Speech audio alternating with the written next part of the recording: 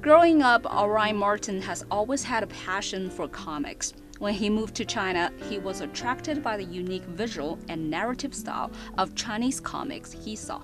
By reading Chinese comics and cartoons, Orion realized they were incredibly useful in helping him learn Mandarin as well as Chinese culture. At the time, I was studying Chinese, and so it was a really great way for me to study the language. It was, uh, in a comic, you have less text, so you also have the images helping you along. It's, it's really great for learning a language, right? It's a much easier way to read text.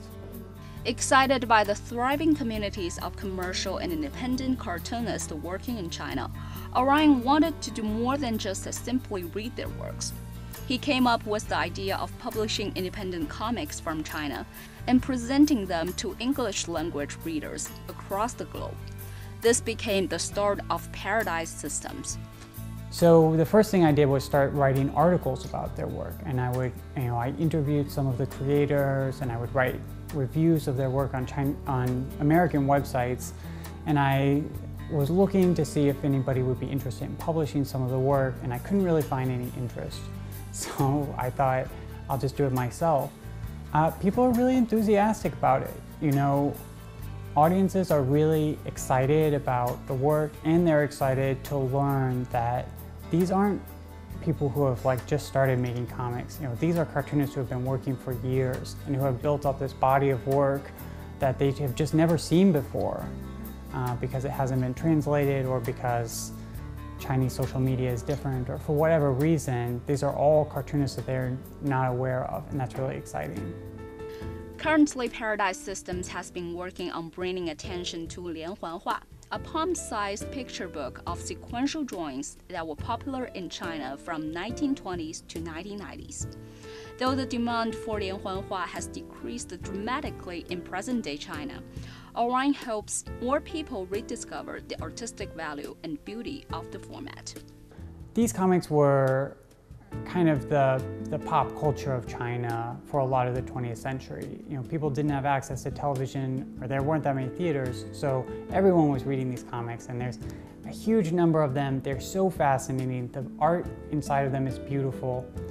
And so um, I want to help more people know how cool these are and show them some examples.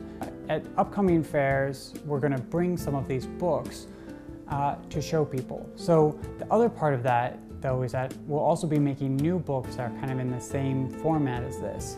So this is the cover like prototype for one of the new books we're working on. And it's like the same dimensions, but it's a new work by a Chinese contemporary cartoonist. Um, so that's another way that we want to kind of think about this important history in, in Chinese comics and how it's continuing on to the present. At this stage, Paradise Systems has published short comics, but plans to create large projects and more complex books in the near future. Regardless of what the future holds, Orion said there is one principle he will always stick to, which is to financially support artists so that they can continue to make amazing works. If you are interested in purchasing comics books from Paradise Systems, check out their website at paradise-systems.com.